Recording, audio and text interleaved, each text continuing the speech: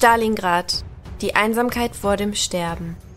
Ein Podcast mit Christoph Fromm, moderiert von Yvonne Ramp. Wir sprechen jeden Freitag über historisch-politische Themen rund um Stalingrad und den Zweiten Weltkrieg. Thema der heutigen Folge: Für und gegen Hitler. Spioninnen im Dritten Reich.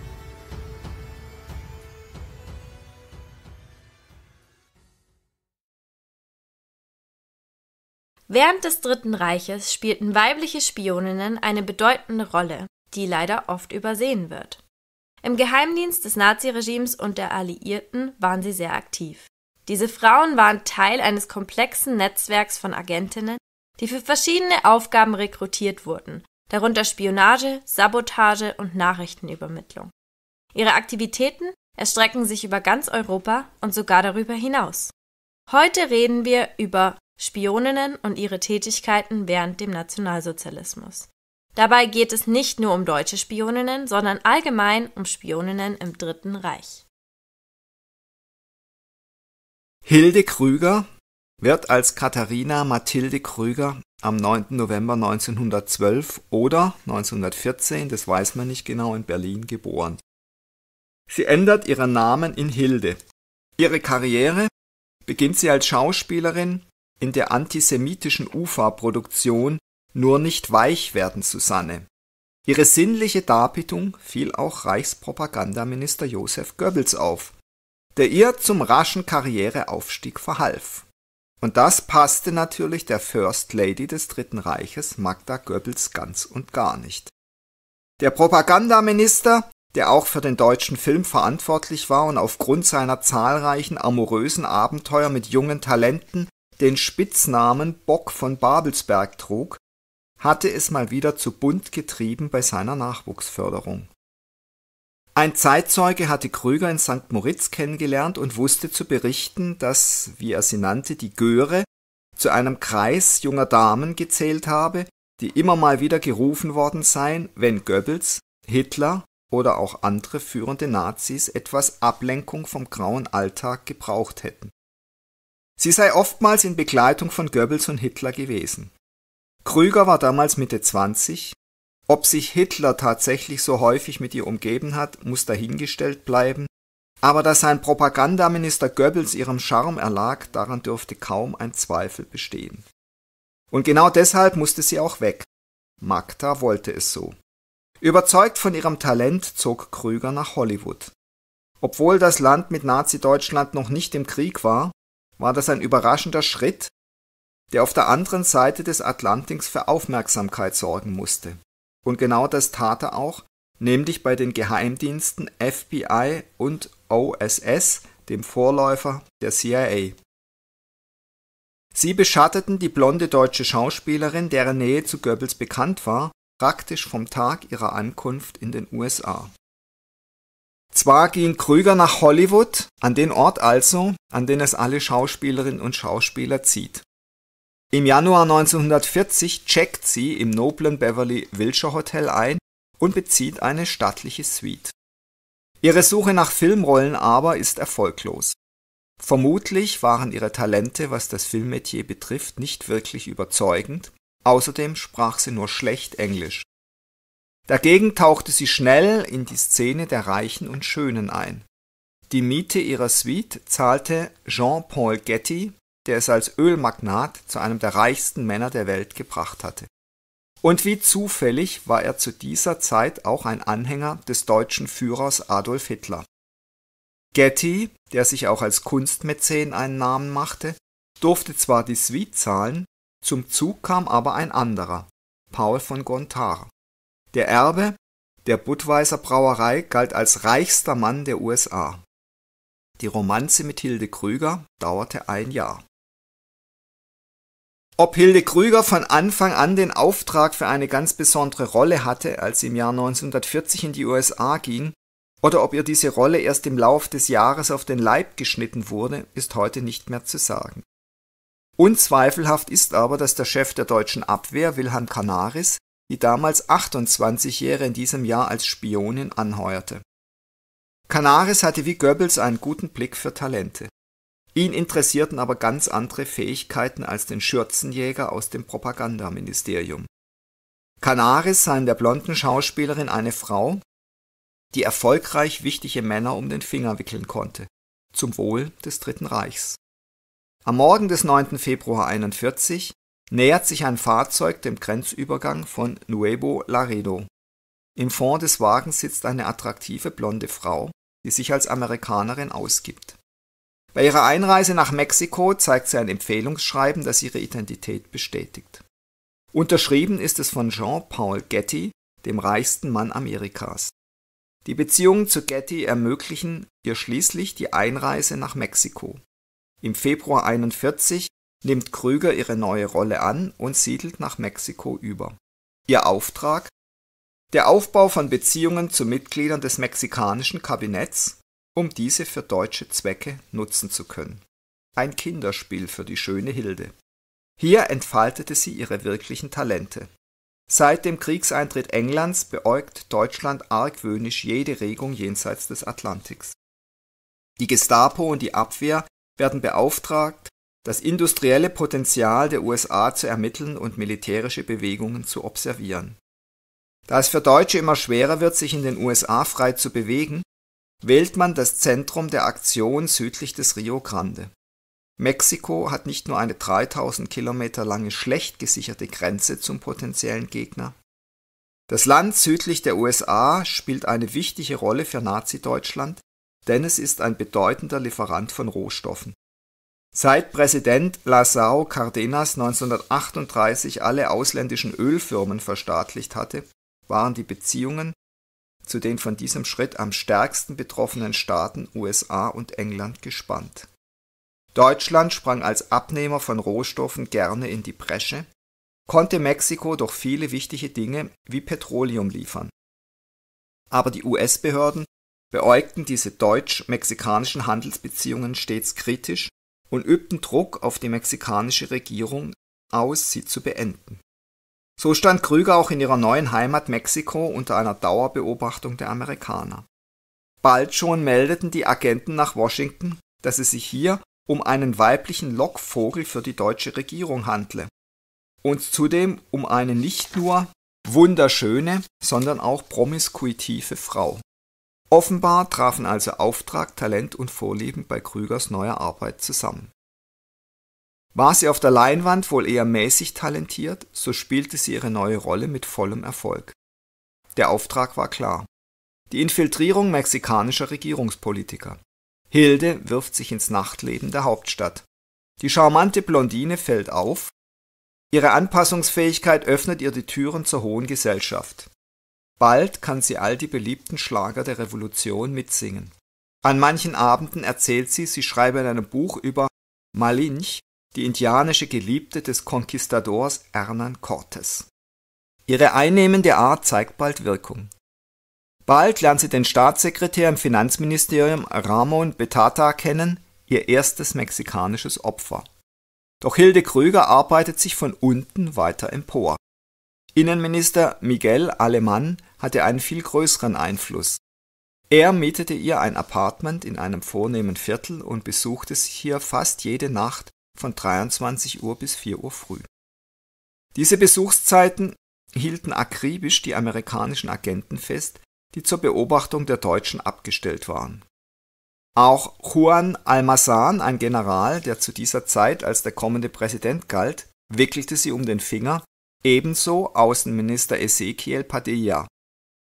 Es scheint, als habe die gesamte mexikanische Führungsriege beim Anblick der Deutschen den Kopf verloren. Die Liaison mit Mexikos damaligem Innenminister Miguel Alemán erwies sich als besonders nützlich. Er besorgte die erforderlichen Visa, mit denen Deutschland rund 300 Spione nach Mexiko einschleusen konnte. Zusätzlich schmuggelte er kriegswichtige Rohstoffe wie Petroleum und Quecksilber nach Deutschland. Viele Politiker und Bürokraten verdienten gut an diesen geheimen Geschäften und viele von ihnen waren Bekannte von Krüger. Erstaunlicherweise durfte sie trotz ihrer Überwachung im Spätsommer 41 nochmals in die USA einreisen. Als Referenz für das Einreisevisum trat unter anderem der Schauspieler Errol Flynn auf, der zu dieser Zeit zu den berühmtesten Hollywood-Schauspielern gehörte. Sie fuhr nach Los Angeles, wo sie an einem Empfang des deutschen Generalkonsuls teilnahm. Die US-Agenten berichteten, sie sei sehr provokant gekleidet gewesen, habe sich heillos betrunken und laut Heil Hitler gegrölt. Mit dem Überfall der Japaner auf Pearl Harbor im Dezember 41 schien sich kurz nach diesem Ereignis alles zu ändern. Das State Department beschließt, die mexikanische Regierung über das Spionagenetz der Nazis in Kenntnis zu setzen. Eine Liste mit 24 Agenten wird übergeben, mit dabei Hilde Krüger. Innenminister Miguel Alemán, so heißt es in dem Schreiben, sei zum Vertreter deutscher Interessen in Mexiko geworden. Auf Druck der USA werden Krüger und zahlreiche andere Spitzel im März 42 festgenommen. Doch wie durch ein Wunder wurde sie kurze Zeit später im Gegensatz zu den anderen wieder auf freien Fuß gesetzt. Der Einfluss ihres Liebhabers Alemann reichte bis ins Justizsystem. Obwohl zwei Monate später Mexiko Deutschland den Krieg erklärte, blieb Hilde unbehelligt. Sie konnte sogar wieder als echte Schauspielerin tätig werden und spielte 1942 in ein paar mexikanischen Filmen mit. Dafür nannte sie sich in Hilda Krüger um. Und, um im Land bleiben zu können, heiratete sie einen reichen Playboy mit Namen Nacho de la Torre, Enkel des Präsidenten Porfirio Diaz. In dessen Villa in Cuernavaca frönt sie weiter dem Leben des Jetsets, interessiert sich aber auch für die Kultur ihres Gastlandes und belegt an der Universität UNAM Kurse in mexikanischer Geschichte. Hilde Krüger steht außerdem auch wieder für mexikanische Produktionen vor der Kamera und gibt die verführerische Fremde. Doch die Ehe hält nicht lang. Auf einer Reise lernt sie den Venezuelaner Julio Lobo Olavaria kennen, bekannt als Zuckerkönig von Kuba. Einen Venezolaner, der auf der Karibikinsel ein riesiges Imperium geschaffen hat. Sie verlässt ihren mexikanischen Playboy und geht mit Lobo nach Spanien.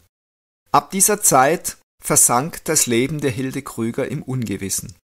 1958 tauchte sie noch einmal in einem schweizerischen Spielfilm auf, die Komödie Eine Reinfahrt, die ist lustig. Wahrscheinlich zog sie irgendwann nach New York. In einer TV-Dokumentation namens La Red Nazi en Mexico, zu Deutsch das Nazi-Netzwerk in Mexiko, kommt eine Freundin aus Hildes Tagen in Mexiko zu Wort. Ida Rodriguez, mittlerweile eine alte Frau, erzählt von einem letzten Treffen. Damals habe die Ex-Agentin sie freundlich in ihrer Wohnung in New York empfangen. Nach drei Stunden war das Schwelgen in alten Erinnerungen vorbei. Da wartete am Eingang ein Wagen auf die Deutsche. Wer drinnen saß, konnte Rodriguez nicht sagen. Doch hier verliert sich die Spur der Spionin und Schauspielerin. Ihr Todestag und nicht einmal das Todesjahr sind bekannt. Unterschiedliche Quellen sprechen von 1991 oder von 2002. Das passt, denn Hilde Krüger war eine Frau, die viele Geheimnisse mit ins Grab nahm. Sie träumte von einer Karriere beim Film, doch ihre Paraderolle spielte Hilde Krüger im echten Leben. Als Spionin und als femme fatale. Stefanie von Hohenlohe wurde auch Hitlers Vermittlerin genannt. Sie kam als Stefanie Richter in Wien zur Welt. Stefanie Hohenlohe wurde in bürgerliche Verhältnisse geboren, der Vater war Rechtsanwalt. Das ehrgeizige Mädchen wusste wohl früh, was sie wollte. Nachdem sie mit 14 Jahren einen Schönheitswettbewerb gewonnen hatte, gelang es ihr, Verbindungen zu kaiserlichen Kreisen zu knüpfen, in denen sie von Prinz Friedrich Franz zu Hohenlohe-Waldenburg-Schillingfürst ein Kind erwartete. Der Kaiser sorgte diskret für eine Hochzeit, anderenfalls hätte es einen gesellschaftlichen Skandal gegeben, auf den das Herrscherhaus gut verzichten konnte. Auch wenn die Ehe nur ein paar Jahre hielt, so war Stefanie doch am Ziel. Sie gehörte jetzt der Adelsschicht an, denn auch nach der Scheidung behielt sie ihren Adelstitel. Sie nutzte diese Position, um nach dem Ende des Reiches der Habsburger 1918 für ihren neuen ungarischen Landesherrn diplomatische Aufträge zu übernehmen und als aristokratische Vermittlerin für Horthy zu arbeiten. Einer davon führte sie nach London, wo sie Lord Rothermere kennenlernte. Lord Rothermere, ein britischer Zeitungsverleger und Pressezar, war ein Anhänger Hitlers und hoffte, zwischen NS-Deutschland und der britischen Regierung vermitteln zu können. Er erkannte schnell Stephanies Talent, Männer für sich einzunehmen. Und so verfiel er auf den Gedanken, sie nach Berlin zu schicken, um bei Hitler für ihn vorstellig zu werden. Stephanie übernahm den Job gerne, vor allem wohl, weil Rothermere sie gut dafür bezahlte. Aber sie fühlte sich in den kommenden Jahren auch im Mittelpunkt der Geschichte, wie sie selbst schrieb. Ihr Aufstieg bis in die Höhen der Politik war ebenso erstaunlich wie zielgerichtet. Hitler mochte sie wohl von Anfang an. Schon bei ihrem ersten Besuch im Dezember 1933 in der Berliner Reichskanzlei begrüßte er sie mit Handkuss zum Tee. Hitler war auch keineswegs so prüde wie sein Reichskanzleichef Hans Lamers, der regelrecht schockiert wirkte, als ihr beim zweiten Besuch wenige Wochen später der Rock bis über das Knie rutschte. Stefanie selbst will dagegen vom Führer keineswegs angetan gewesen sein. Hitler habe auf sie wie ein kleiner Angestellter gewirkt, völlig unbedeutend. Auch sein Äußeres war ihr, glaubt man ihren späteren Aufzeichnungen, keineswegs angenehm. Das hässlichste an seiner Erscheinung sind seine Nase, sein Schnurrbart, sein Mund und seine Füße. Seine Nase ist unproportioniert. Der Teil zwischen den Nasenlöchern ist sehr hässlich geformt, so dass man dauernd hinschauen muss und sich fragt, was das ist, schreibt sie später. Auch sein zu kleiner Mund sei unappetitlich und verforme sich zu einem hässlichen kleinen Loch. Doch über solche Äußerlichkeiten sah sie gerne hinweg, da sie auch sein Haar und seine blauen Augen bewunderte. In den folgenden Jahren kam es zu mehreren Treffen Stephanies mit Hitler. Stets war sie im Auftrag Rothermeres unterwegs. Die zwei Tage auf dem Obersalzberg Anfang 1937 sollten ihr noch lange in guter Erinnerung bleiben. Während des Führers geliebte Eva Braun sich wie so oft, wenn Besucher anwesend waren, in ihrem Zimmer aufhalten musste, saßen Rothermere, die Prinzessin und Hitler zusammen, plauderten und sprachen über die große Politik. Hitler streichelte seinem weiblichen Gast übers Haar und kniff ihr vertraulich in die Wange. Das war für sie, eine geübte Männerkennerin, der Beweis dafür, dass der Führer nicht, wie oft gemunkelt wurde, homosexuell veranlagt sei, sondern ganz stocknormal, schreibt ihre Biografin Martha Schad. Zum Abschied soll Hitler ihr einen jungen Schäferhund geschenkt haben, den sie Wolf taufte, nach Hitlers Spitznamen. Die Besucherin bedankte sich artig per Brief und attestierte Hitler, sie sind ein charmanter Hausherr. Sie habe jede Minute des Aufenthaltes genossen. Hitler scheint diese attraktive Frau die genau wusste, wie sie die Männer zu nehmen hatte, vom ersten Treffen in der Reichskanzlei geschätzt zu haben. In der Zwischenzeit hatte die Prinzessin einen Mann aus Hitlers Umgebung näher kennengelernt, der noch eine bedeutende Rolle in ihrem Leben spielen sollte. Fritz Wiedemann, einer von Hitlers persönlichen Adjutanten. Wiedemann, verheirateter Vater von drei Kindern, verliebte sich in Stefanie und fortan gingen beide eine engere Verbindung ein, ohne dass Fritz sich von seiner Frau trennte oder seine Liaison auch nur vor ihr geheim hielt. Ob die Prinzessin auch verliebt war, muss dahingestellt bleiben. Beeindruckt aber war sie sicher von dem gut aussehenden Mann. Martha Dodd, die Tochter des US-Botschafters in Berlin und eine weitere Spionin, über die wir später noch sprechen werden, ist selbst für vieles bekannt, aber gewiss nicht für eine übertriebene Zurückhaltung Männern gegenüber. Sie schwärmte auch von Fritz Wiedemann. Aber sie attestierte ihm auch eine primitive Intelligenz und empfand ihn als schlau und verschlagen. Stephanie kehrt schließlich zurück nach England. Im Juni 1938 ereilte Stephanie in London, die dort als Hitlers Prinzessin bezeichnet wurde und gute Kontakte in nazifreundliche Kreise der englischen Oberschicht pflegte, ein überraschender Ruf nach Berlin.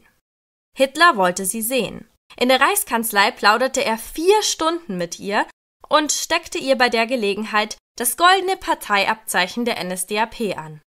Eine Ehrung, die nur sehr wenigen Menschen verliehen wurde.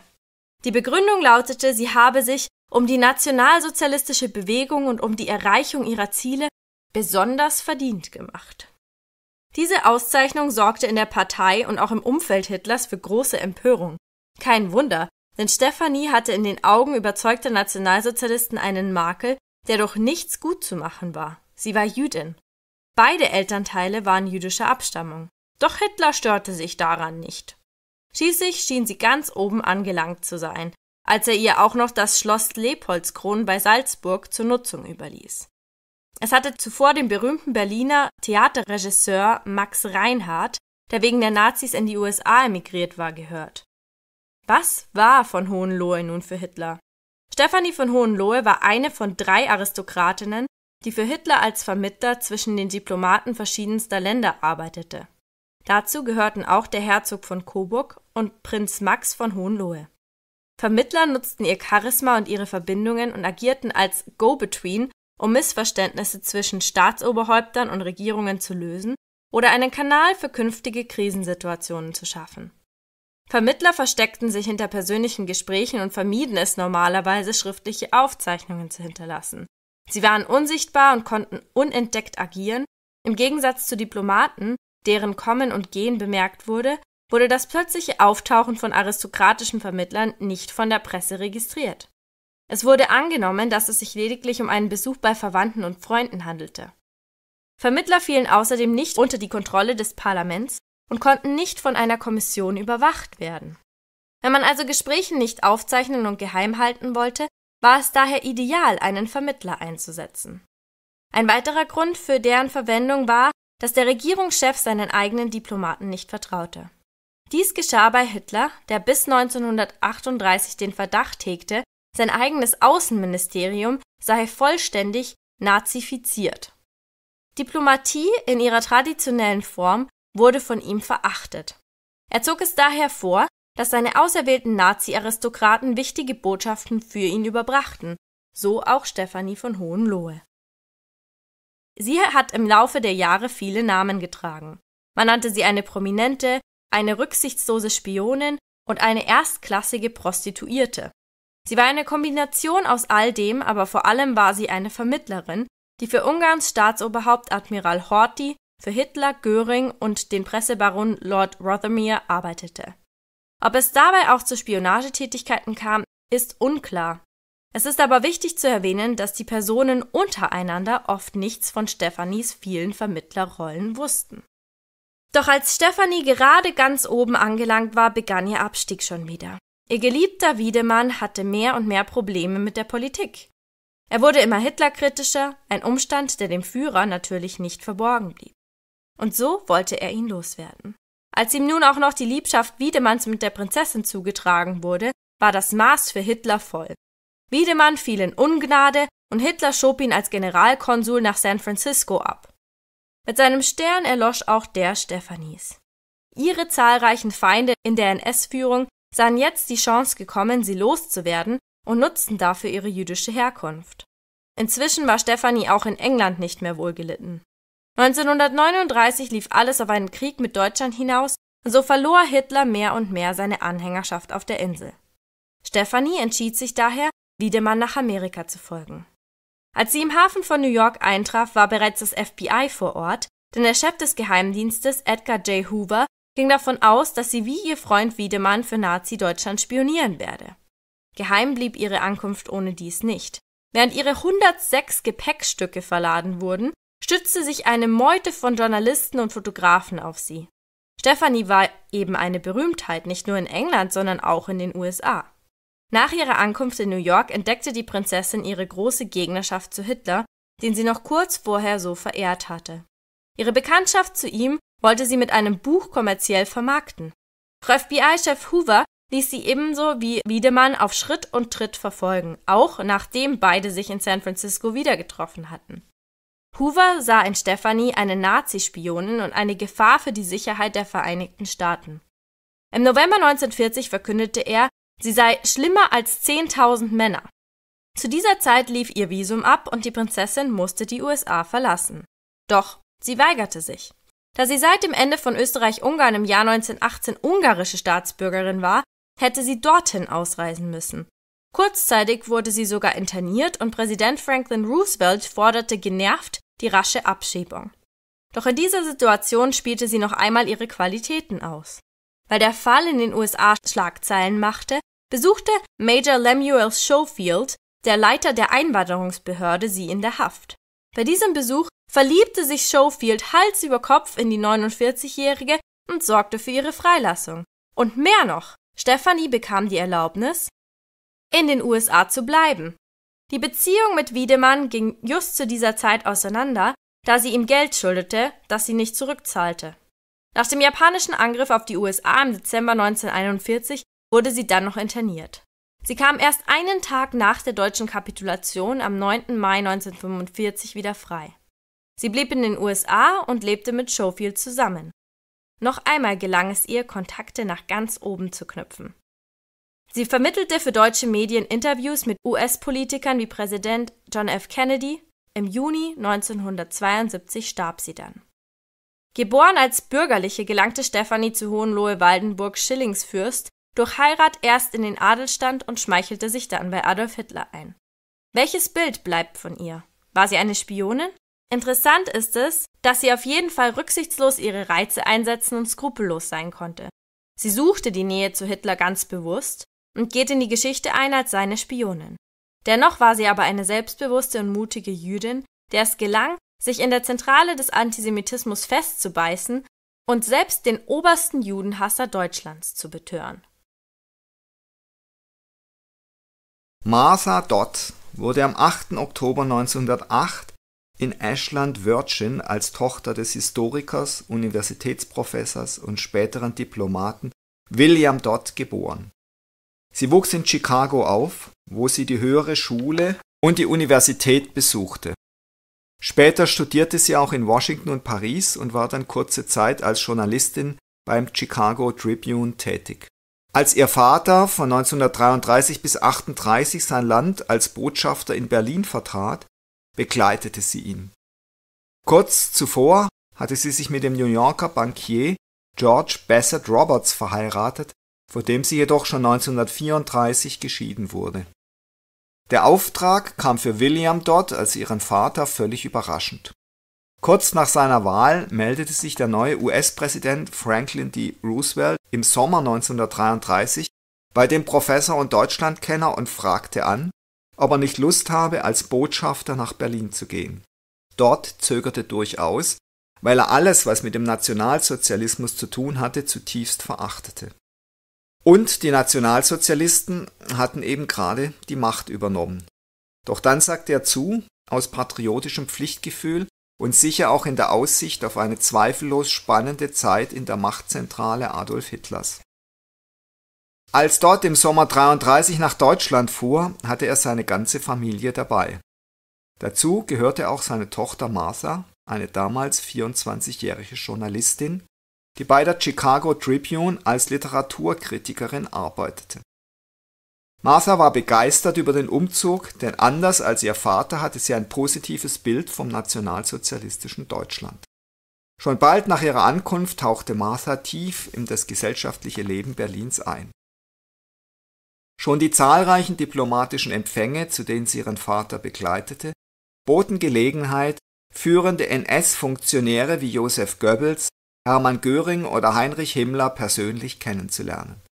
Dort war eine attraktive und lebenslustige junge Frau, die, das war bekannt, den Männern sehr zugetan war. Und das galt auch umgekehrt. So blieb es nicht aus, dass sie rasch die nähere Bekanntschaft von führenden NS-Funktionären machte. Und es dauerte nicht lange, da brodelte die Gerüchteküche. Immer wieder wurden ihr Affären nachgesagt. Und vermutlich waren die Männergeschichten wohl mehr als Gerüchte. Zu dieser Erkenntnis kam zumindest der sowjetische Geheimdienst NKWD. So soll dort unter anderem mit Hitlers persönlichem Adjutanten Fritz Wiedemann, also derselbe, mit dem auch die Prinzessin Hohenlohe zu tun hatte, angebandelt haben. Er übte auf sie eine große Anziehungskraft aus. Auch zum ersten Gestapo-Chef Rudolf Diels kam sie wohl in näheren Kontakt, ebenso zu Hitlers Auslandspressechef Ernst Putzi Hanfstengel und Ernst Udet, dem bekannten Flieger aus dem Ersten Weltkrieg. Auch Hitler lernte sie persönlich kennen. Dazu kam es, als Ernst Hanfstengel sie zu einem Gespräch mit dem Führer ins Hotel Kaiserhof einlud. Offenbar hatte der Hitler-Vertraute die Hoffnung, die beiden könnten ihre Zuneigung zueinander entdecken. Angeblich lockte er sie mit den Worten Hitler braucht eine Frau. Martha, Sie sind eine Frau. Aber Martha war nicht beeindruckt von ihrem Gegenüber. Ihre Sichtweise auf Nazi-Deutschland war zunächst positiv, allerdings in einer sehr naiven Weise. Wirklich beurteilen konnte sie in der ersten Zeit in Berlin die Zustände in dem Land, in dem gerade eine Diktatur errichtet und Regimegegner brutal ermordet, in Lager gesteckt wurden oder ins Ausland flohen, gar nicht.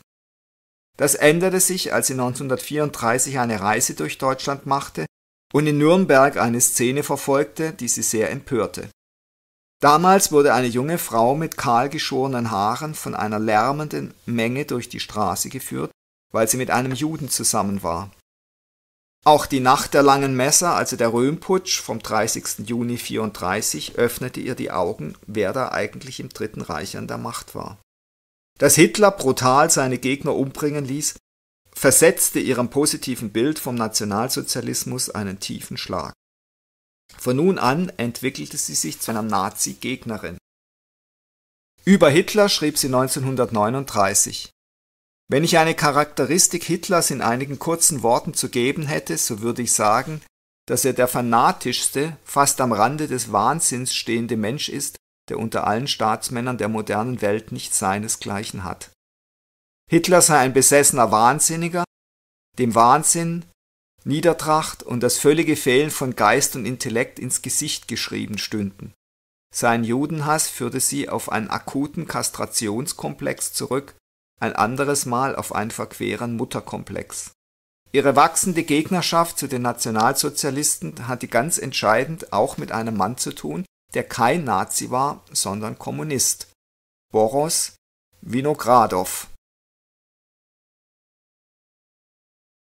Boros Winogradow arbeitete offiziell als Sekretär an der sowjetischen Botschaft in Berlin. Tatsächlich wurde er als Spion nach Deutschland geschickt. Seine Aufgabe lautete, er sollte sich als Romeo an Martha Dodd heranmachen und versuchen, über sie Informationen aus der US-Botschaft abzuschöpfen. Vinogradov machte seine Sache so gut, dass Martha sich hemmungslos in ihn verliebte. Ob diese Zuneigung auf Gegenseitigkeit beruhte, muss dahingestellt bleiben. Zur selben Zeit hatte sie aber auch eine Liaison zu Prinz Louis Ferdinand von Preußen, dem Sohn des Kronprinzen. Das sei, so meinte sie, eine perfekte Maske. Denn die Beziehung zu Vinogradov war in Berlin nicht geheim geblieben und bot schon bald Anlass zu dem Verdacht, sie arbeite für die Sowjets. Nachdem Martha 1935 ein paar Wochen auf Einladung der Moskauer Regierung durch die Sowjetunion gereist war, mutierte ihre frühere Nazi-Freundlichkeit endgültig zu einer Vorliebe für das bolschewistische Russland. Sie bot Winogradow an, ihren eigenen Vater auszuspionieren. Der großen Liebe war allerdings kein Glück vergönnt. Winogradow wurde schließlich wieder nach Moskau abberufen. Martha aber blieb zurück, in der Hoffnung auf ein Wiedersehen und schließliches Zusammenleben. Doch daraus sollte nichts werden. 1937 hielt es ihr Vater in Deutschland nicht mehr aus und wollte unbedingt zurück in seine Heimat. Martha entschied sich, mit der Familie zurückzufahren. Die Nazi-Führung verfolgte die weitere Entwicklung mit Argusaugen. Denn Martha kündigte an, dass sie ein Enthüllungsbuch über das Dritte Reich schreiben wollte. Das aber konnte wegen der angeblichen oder tatsächlichen Affären peinlich werden für die NS-Führung.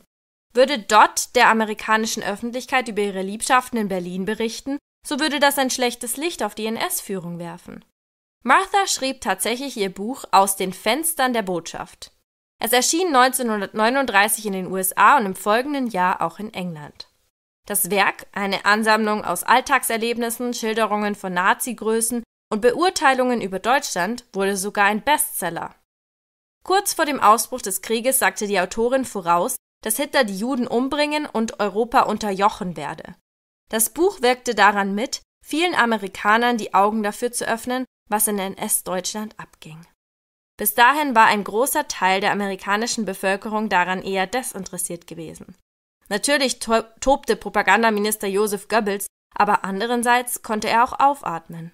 Denn über ihre Affären hatte Dott sich nicht ausgelassen. Als sie zwei Jahre später gemeinsam mit ihrem Bruder auch die Erinnerungen ihres inzwischen verstorbenen Vaters herausgab, musste sie viel Kritik einstecken. Denn in dem Buch wurden der NS-Führung die Namen mancher heimlicher NS-Gegner wie auf dem Tablett präsentiert. Ihre Liebe zu Vinogradov blieb bestehen. Allerdings sollte Martha Dodd ihn niemals wiedersehen. Denn ihr Romeo aus der Berliner Zeit war inzwischen beim sowjetischen Diktator Stalin in Ungnade gefallen und hingerichtet worden. Er war schon tot, als Martha ihm immer noch Liebesbriefe schrieb. Allerdings heiratete sie 1938 einen anderen Mann, Alfred Kaufmann Stern. Bei ihm handelte es sich um einen Millionär mit linken politischen Vorlieben. Martha hatte sich in der Zwischenzeit zielgerichtet dem sowjetischen Geheimdienst NKWD angedient. Dort sah man die Tochter aus gutem Bürgerhause zwar durchaus kritisch. Zitat: Sie sieht sich selbst als Kommunistin und gibt vor, die Ziele des Parteiprogramms zu verfolgen. In Wirklichkeit ist sie eine typische Repräsentantin der amerikanischen Bohème, eine sexuell verfallene Frau, bereit, mit jedem attraktiven Mann zu schlafen. So hieß es in einem NKWD-Bericht vom Februar 1942. Andererseits hatte Martha auch in den USA Zugang zu Prominenten. Und ihr Ruf in der Öffentlichkeit war seit der Veröffentlichung ihres Buches tadellos, galt sie doch als eine aktive Gegnerin Nazi-Deutschlands. Über ihren NKWD-Kontaktmann in New York, Ishkak Akhmerov, bekam sie Kontakt zu dem berüchtigten Spionagering von Jack Sobel. Es gelang ihr über eine Kontaktperson, den US-Geheimdienst OSS zu infiltrieren. Obwohl sie die Sowjetunion in ihrem Buch in rosigen Farben gemalt hatte, wäre wohl niemand darauf gekommen, dass Martha und auch ihr Mann Alfred für die Sowjets spionierten.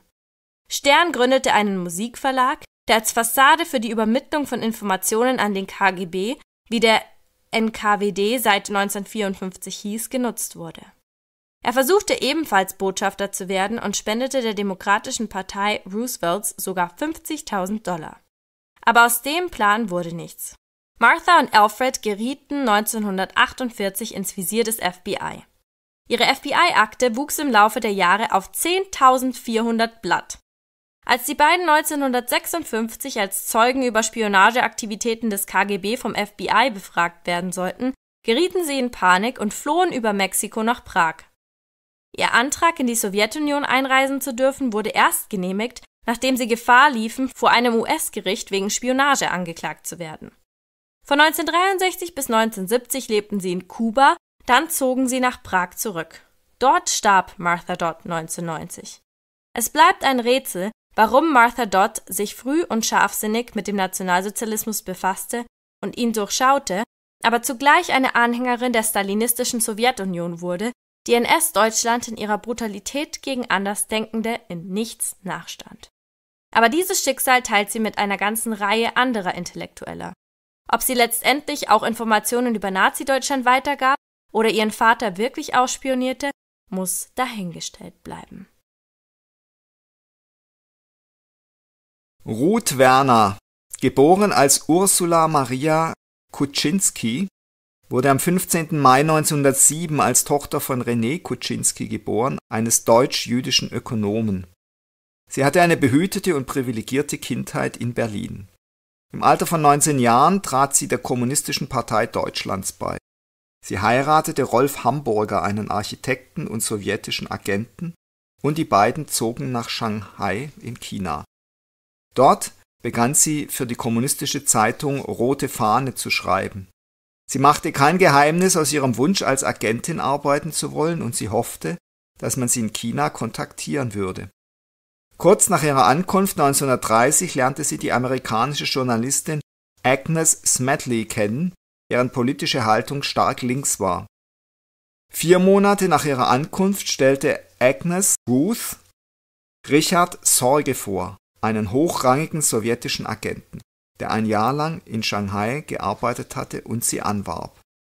Während sie die harmlose Hausfrau und bald auch die geschäftige Mutter eines Kleinkinds mimte, stellte sie mittlerweile unter ihrem Agentennamen Sonja ihr Haus für heimliche Treffen der chinesischen Kommunisten zur Verfügung. Die arbeiteten auf den Sturz von Chiang Kai-shek hin, dem Gegenspieler von Mao Zedong während des chinesischen Bürgerkriegs zwischen 1927 und 1949. Sie versteckte Dokumente und Waffen auf ihrem Dachboden, leistete Kurierdienste und horchte an gesellschaftlichen Anlässen Regierungsvertreter und Exponenten der deutschen Exilgemeinde aus. Alles ohne das Wissen ihres Mannes. Nicht überraschend verschlechterte sich ihre Ehe und sie verließ Hamburger in Shanghai. Sie nahm ihren Sohn mit in die Tschechoslowakei und ließ ihn bei Verwandten zurück, als die GRU, der sowjetische Geheimdienst, sie bat, nach Moskau zu kommen, um dort ausgebildet zu werden. Sie war nicht nur mutig und intelligent, sondern auch hoch motiviert, für die Sowjetunion zu arbeiten. Denn diese orchestrierte den kommunistischen Widerstand gegen die Nazis in ihrer Heimat. Kurz nach Hitlers Machtübernahme, als ihre jüdische Familie aus Deutschland hatte flüchten müssen, nahm sie das Angebot des russischen Geheimdienstes an, sich als Spionin ausbilden zu lassen. In einem Schulungszentrum in der Nähe von Moskau lernte sie unter anderem, wie man Sprengstoff herstellt, Funkgeräte baut und Nachrichten chiffriert. Dank diesen Fertigkeiten und einer Portion Glück sollte es ihr gelingen, in der Schweiz die sogenannte Rote Drei, eine der bedeutendsten Nachrichtenlinien des Zweiten Weltkriegs, aufzubauen und die Schweizer Spionageabwehr auszutricksen. Sie lernte Standardspionagefähigkeiten, Russisch, Morsecode und wie man Sender und Empfänger baut. Nach ihrer Ausbildung 1934 fuhr Sonja mit ihrem Sohn in die von Japan besetzte Mandschurei, wo sie zusammen mit ihrem lettischen Führungsoffizier eine harmlose Kleinfamilie spielte. In Tat und Wahrheit aber verfolgte Kommunisten versteckte und als Funkerin arbeitete. Aus der Tarnung wurde bald Liebe, und als Sonja Hals über Kopf aus der Mandschurei fliehen musste, war sie mit ihrer Tochter Janina schwanger. Als nächstes schickte die Zentrale Moskau sie und ihren Ehemann Rudi Hamburger nach Polen. Hier brachte sie im Frühling 1936 eine Tochter zur Welt, die Hamburger wie sein eigenes Kind behandelte, obwohl er wusste, dass er nicht der biologische Vater war. Die nächsten zwei Jahre lebte die Familie in Danzig, die als freie Stadt zwar formal unter der Schutzherrschaft des Völkerbunds stand, de facto aber weitgehend von den Nazis kontrolliert wurde. Sonjas Aufgabe bestand darin, als Funkerin die Verbindung der lokalen kommunistischen Untergrundbewegung mit Moskau sicherzustellen. Die Zentrale war begeistert von ihrer Arbeit. 1938 wurde sie nach Moskau bestellt, wo ihr der Rotbannerorden, die höchste Auszeichnung der Roten Armee für militärische Heldentaten, verliehen wurde wie sie ihn verdient hatte, war ihr ein Rätsel. Es war mir auch egal, schrieb sie später. Ich trug keine Uniform und hätte nicht vorschriftsmäßig grüßen können, vom exakten Marschieren ganz zu schweigen. Doch auch ohne perfektes Salutieren war Ursula Kuczynski, genannt Sonja, eine stramme Parteisoldatin. Während ihres Moskau-Aufenthalts fielen viele ihrer Freunde und Bekannte, die sie vor den Nazis in Sicherheit gebracht hatten, den stalinistischen Säuberungen zum Opfer. Später behauptete sie, von all dem nichts geahnt zu haben. Doch das ist wenig glaubhaft. Wie Millionen andere, schreibt ihr Biograf McIntyre, hielt sie den Mund, beschwerte sich nicht und fragte sich, wer der Nächste sein würde. Als sich Sonja im Sommer 38 in der Schweiz unter dem falschen Namen Ursule Schulze niederließ, war sie 31 Jahre alt und seit sieben Jahren Spionin. Ihre zwei kleinen Kinder und die Kinderfrau waren als Tarnung von unschätzbarem Nutzen. Diese Tarnung war für sie als Spionin unerlässlich. Sie mietete oberhalb von Montreux ein Haus, es hieß, passend für eine Agentin, La Taupinière, der Maulwurfshügel. Sonja und Rudi Hamburger hatten sich auseinandergelebt. Nach einem kurzen Besuch in der Schweiz zog er nach Shanghai, wo ihn der sowjetische Geheimdienst mit seiner ersten clandestinen Mission betraute. Die Kinder blieben bei ihr. Nach der gefährlichen und aufreibenden Arbeit in Danzig genoss sie die Sicherheit in der Schweiz und die Zeit, die sie für die Kinder hatte. Doch der Aufstieg der Nazis bedrückte sie. Als das Münchner Abkommen abgeschlossen wurde, das die Tschechoslowakei im September 38 verpflichtete, das Sudetenland an Deutschland abzutreten, schrieb sie an ihre Eltern. Unsere Stimmung ist natürlich genau wie bei euch unter dem Nullpunkt. Sonja hatte den Auftrag, einen gegen Nazi-Deutschland gerichteten Spionagering aufzubauen. Der Engländer Alexander Food wurde ihr erster Agent. Bis vor kurzem hatte er im Spanischen Bürgerkrieg gekämpft. In seinen Memoiren beschreibt er, wie er Sonja an einem bestimmten Tag vor der Hauptpost in Genf treffen sollte. Zitat Ich solle ein weißes Halstuch tragen und in meiner rechten Hand einen Ledergürtel halten. Punkt 12 mittags würde ich von einer Frau angesprochen werden, der ein Einkaufsnetz mit einem grünen Paket darin tragen würde. Außerdem würde sie eine Orange in der rechten Hand halten.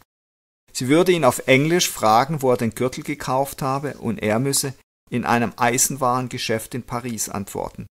Dann sollte ich sie fragen, wo ich eine Orange wie die ihrige kaufen könne, und sie würde sagen, dass ich sie für einen englischen Penny haben könne.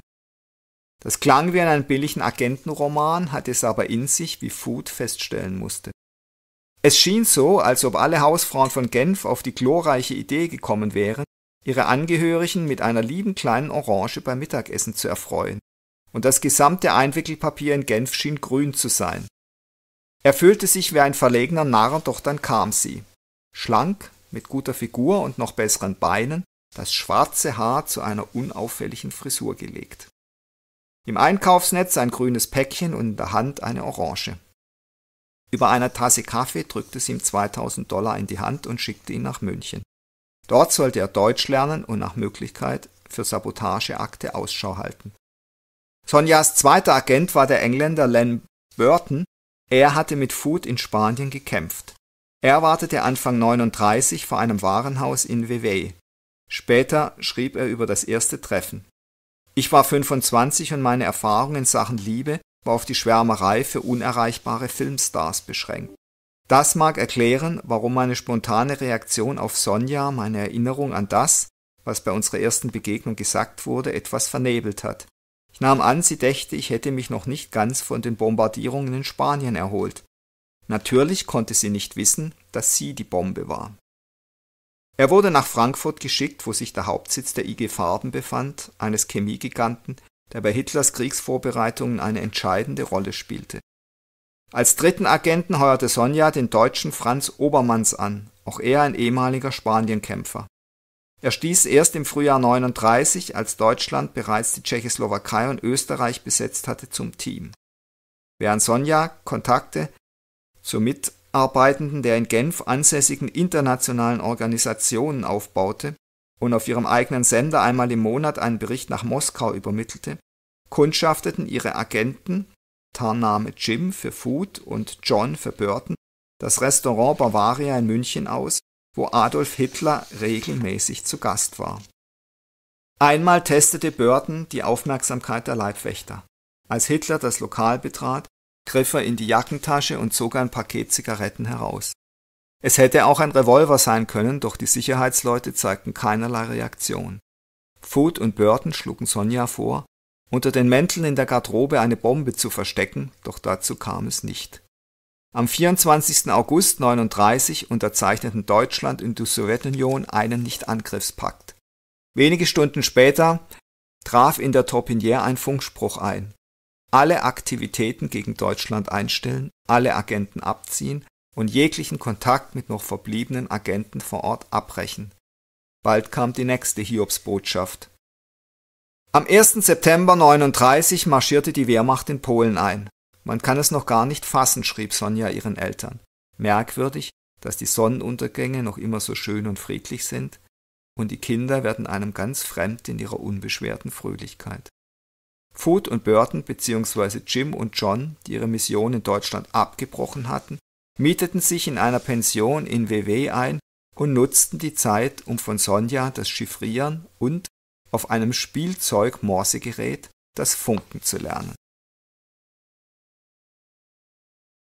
Im Herbst tauchten in der Taupinière zwei ungebetene Gäste auf, die Sonja für Beamte des Schweizer Geheimdienstes hielt. Sie kontrollierten nicht nur die deutsche Hausfrau, sondern auch ihren vermeintlichen Gast Obermanns. Sonja hoffte, es handle sich um eine Routinekontrolle, war aber äußerst beunruhigt, als Obermanns sich mit einem auf den Namen Eriki Noki lautenden finnischen Pass auswies, obwohl er kein Wort Finnisch sprach. In der folgenden Nacht vergrub sie den Sender im nahegelegenen Wald. Prompt erhielt sie die Aufforderung, sich bei der Polizei in Lausanne zu melden. Dort eröffnete ihr ein Inspektor, das Botenmädchen eines Lebensmittelladens habe in ihrem Haus ein Morsegerät gesehen und sie stand als Spionin denunziert. Sonja reagierte kaltblütig. Ich lachte und bestand darauf, in den nächsten Spielzeugladen zu gehen, um das gefährliche Objekt zu besichtigen. Sie bot sogar an, dem Inspektor das Spielzeug ihres Sohnes zu zeigen und beschwerte sich, dass die Polizei eines demokratischen Landes den von Hitler verfolgten Deutschen misstraue, anstatt sich um die vielen Nazis in der Schweiz zu kümmern. Das war offenbar überzeugend. Laut ihren Memoiren gestand der Inspektor, das möchte ich hundertmal lieber tun. Sie wertete das als gutes Zeichen, dass er sich nicht nach Obermanns erkundigt hatte und fühlte sich bald sicher genug, um das Funken wieder aufzunehmen. Was sie nicht wissen konnte, die Bundesanwaltschaft war dem falschen Erik Kinoki bereits auf den Fersen. Aus Akten im Bundesarchiv geht hervor, dass die Fremdenpolizei Obermanns von Anfang an verdächtigte, das Foto in seinem Pass ausgewechselt zu haben. Die Polizei durchsuchte sein Zimmer in einer Pension in Grolli bei Freiburg, fand aber nichts Verdächtiges. Am nächsten Morgen meldete die Pensionsinhaberin jedoch, sie habe in einem Schrank im Badezimmer etwas Interessantes entdeckt. Es stellte sich als Teil einer Sendeanlage heraus. Bei den verschiedenen Geräten fand sich weder ein Mikrofon noch ein Schalter, heißt es im Polizeirapport. Noki wurde beim Aufbau seiner Anlage überrascht. Er wurde sofort verhaftet und die Bundesanwaltschaft bat das Schweizer Konsulat in Helsinki um Abklärung. Als die finnische Polizei die Eltern des echten Eriki Noki ausfindig machte, bestätigten sie, der Mann auf dem Passfoto sei nicht ihr Sohn. Dieser war nach Russland ausgewandert und hatte seinen Pass offenbar dem Geheimdienst überlassen. Als die Polizei Obermanns damit konfrontierte, gab er augenblicklich zu, dass er den Pass in Paris gekauft und das Foto ausgetauscht hatte. Er weigerte sich aber standhaft, seinen richtigen Namen zu nennen.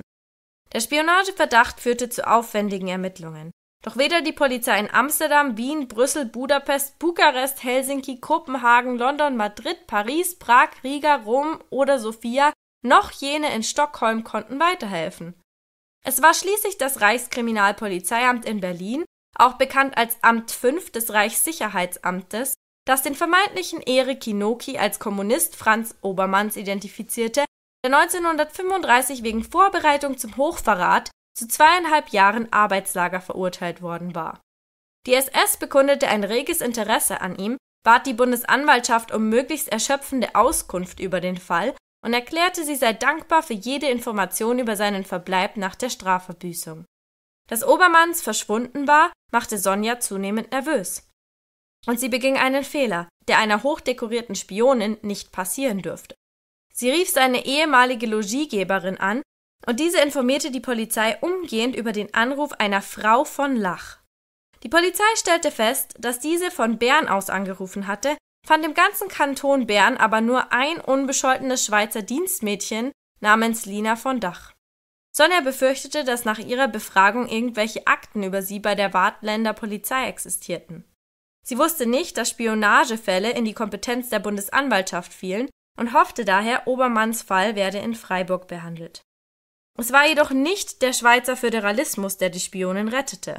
Offenbar hatte der Inspektor, dem sie die Leviten gelesen hatte, keinen Rapport erstellt, denn es gibt über sie, anders als über ihre drei Agenten, weder im Badländer Staatsarchiv noch im Bundesarchiv ein Dossier.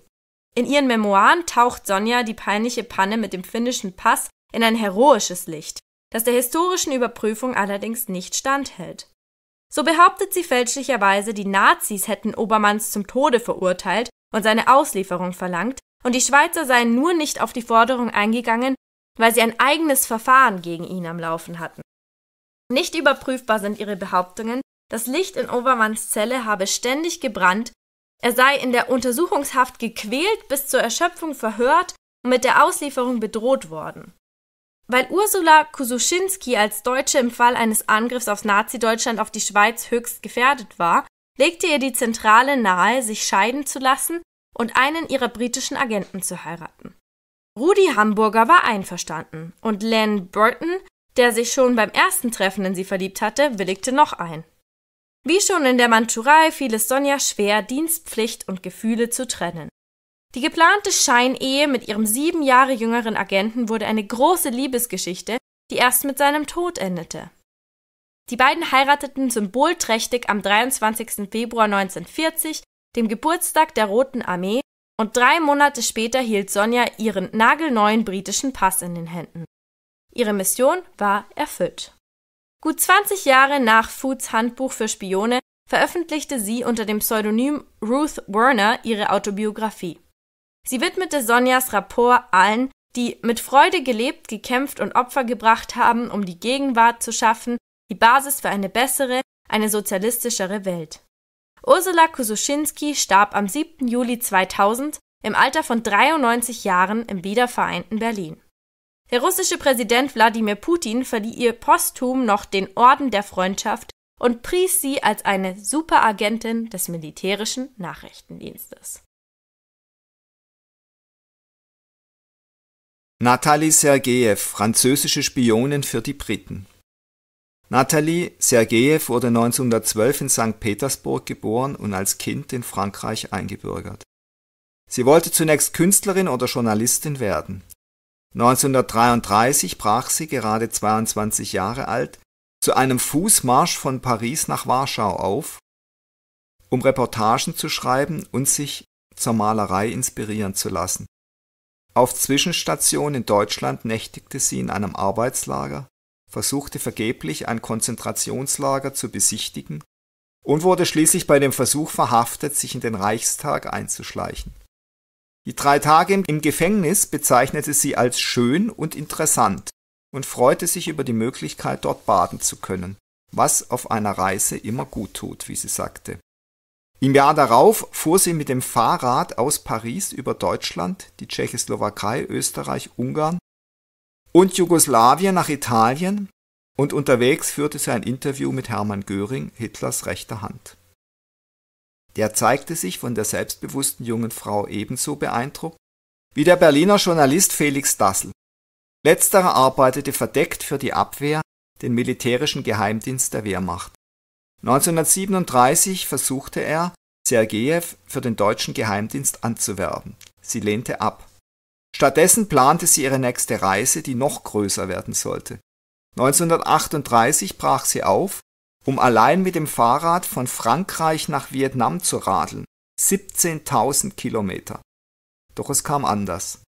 Als Deutschland Polen überfiel und den Zweiten Weltkrieg entfachte, war Sergejew schon in Syrien. Sie disponierte um, machte in Beirut eine Ausbildung als Krankenpflegerin. Mit dem Einmarsch der Wehrmacht in Frankreich fällte Sergejew einen Entschluss. Sie wollte zurückkehren und dabei helfen, Paris von den Nazis zu befreien. Ihr Plan? Sie würde sich als deutsche Agentin anwerben lassen, in Wahrheit aber gegen die Deutschen arbeiten. Sie wollte also Doppelagentin werden. Auf eigene Faust. Erstaunlicherweise funktionierte das auch. Ihr Führungsoffizier im deutschen Militärgeheimdienst wurde der Österreicher Emil Kliemann. Er ließ sie in Techniken wie Funken, Morsen und Schreiben mit Geheimtinte schulen und plante ihre Spionagemission in England und die Ausreise über Madrid. Aus dem Zielland sollte sie Beschreibungen von Flughäfen, Informationen über Truppenbewegungen und Details zu Flugabwehrraketengeschützen liefern als Kliman Sergejew vor der Abreise noch einmal in Madrid traf, war der britische Geheimdienst längst im Bilde. Der britische Security Service entschied sich dafür, das ungewöhnlich plumpe Angebot als Doppelagentin von ihr anzunehmen.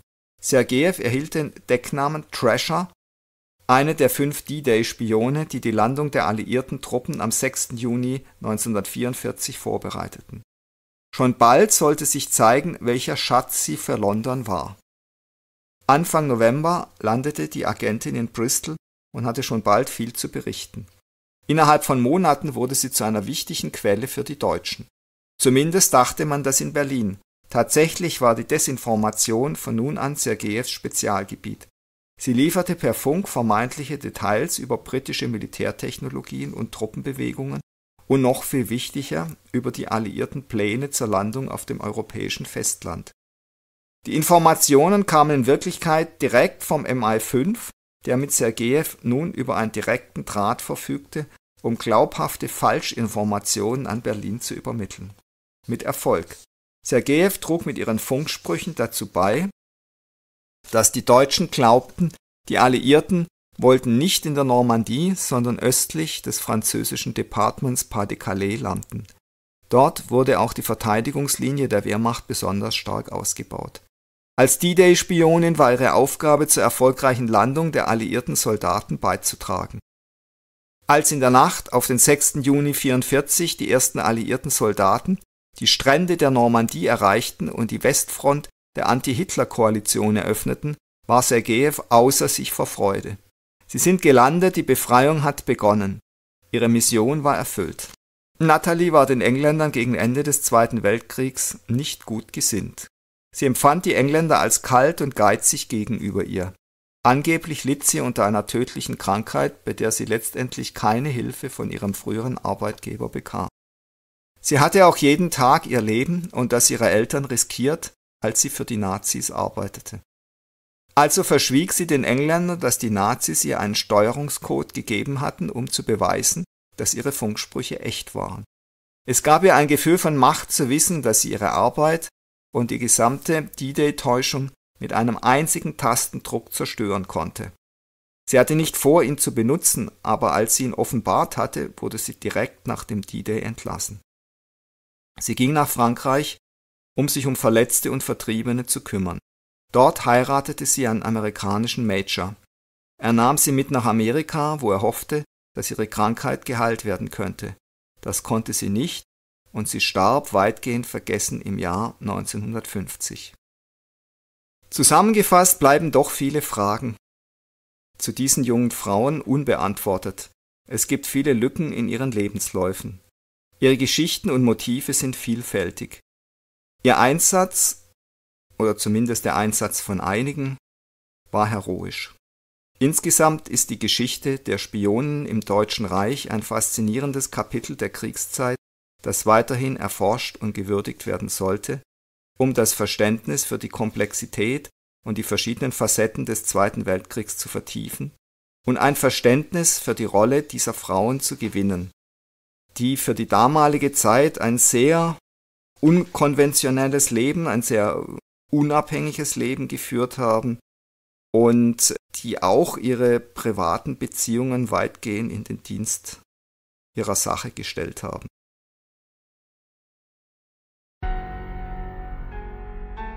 Das war Folge 204 unseres Podcasts Stalingrad, die Einsamkeit vor dem Sterben.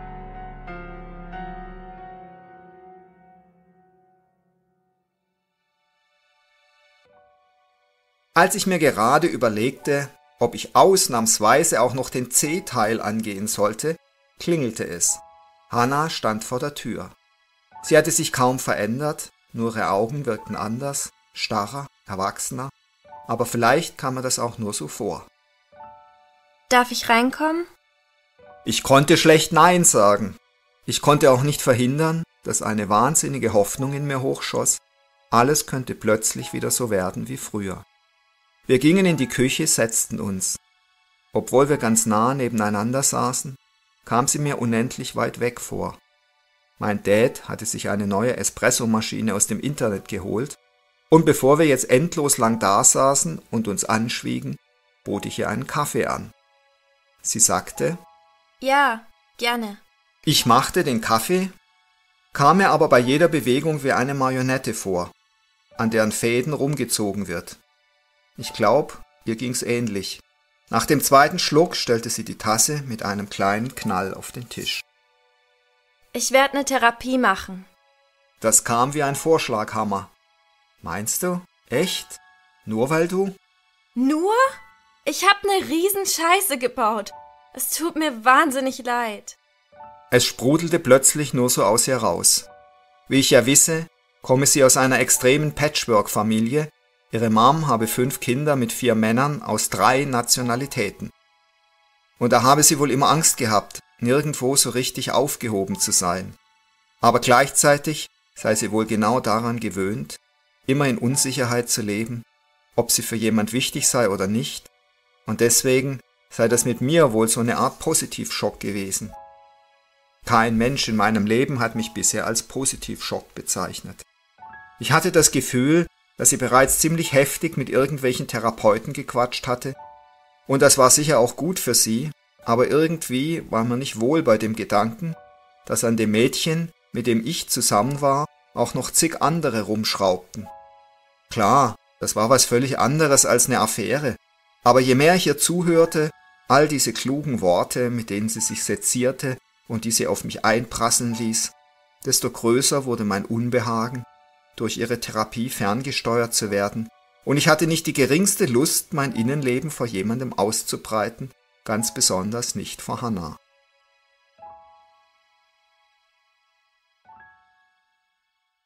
Wenn ihr mehr darüber erfahren wollt, geht doch mal auf www.primeroverlag.de slash Mur oder checkt unsere Insta-Seite, auf der sich gerade absolut alles um die Mur und ihre Charaktere dreht.